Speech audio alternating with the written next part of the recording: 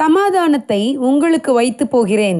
என்னுடைய சமாதானத்தையே உங்களுக்கு கொடுக்கிறேன். உலகம் கொடுக்கிற பிரகாரம் நான் உங்களுக்கு கொடுக்கிறதில்லை. உங்கள் இருதயம் கலங்காமலும் பயப்படாமலும் இருப்பதாக யோவான் பதினான்காவது அதிகாரம் இருபத்தி ஏழாவது வசனம். ஆயிரத்தி ஐநூற்று ஐம்பத்தி ஐந்தாம் ஆண்டு நிக்கோலஸ் ரிட்லி என்பவரை மரத்தில் கட்டி வைத்து உயிரோடு எரித்தனர். அவர் இயேசு கிறிஸ்துவை பற்றி பிரசங்கித்தார் என்பதற்காகவே அவருக்கு அந்த தண்டனை கொடுக்கப்பட்டது. அவருக்கு மரண தண்டனை விதிக்கப்படுவதற்கு முந்தின நாள் இரவு நிக்கோலஸின் சகோதரர் அவருக்கு ஆறுதல் சொல்லி அவரை திடப்படுத்தி அவரோடு தங்கி இருக்க விரும்புகிறேன் என்று கூறினார்.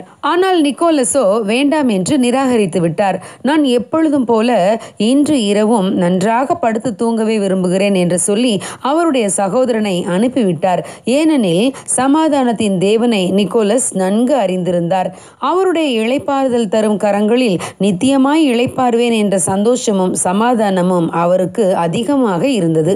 பிரியமானவர்களே நிக்கோலஸை போல நம்முடைய வாழ்வில் நாம் பிரச்சனைகளை சந்தித்தால் நம் மனதில் சமாதானம் இருக்குமா?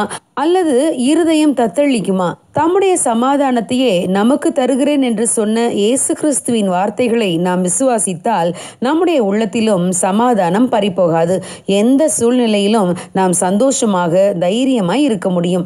இயேசு கிறிஸ்து கெத்சமனை தோட்டத்திலே ஜெபித்துவிட்டு வெளியே வரும்போது யூதாஸ் போர்ச்சேவகரின் கூட்டத்தையும் பிரதான ஆசாரியர் பரிசேயர் என்பவர்களால் அனுப்பப்பட்ட ஊழியக்காரரையும் கூட்டிக் கொண்டு பந்தங்களோடும் தீவட்டிகளோடும் ஆயுதங்களோடும் அவ்விடத்திற்கு வந்தான். இயேசு தமக்கு நேரிடப் போகிற எல்லாவற்றையும் அறிந்து அவர்களுக்கு எதிர்கொண்டு போய் அவர்களை நோக்கி யாரை தேடுகிறீர்கள்? என்றார். அவர்கள் நசிரேயனாகிய இயேசுவை தேடுகிறோம் என்றார்கள். இயேசு அவர்களிடம் நான் தான் என்றார்.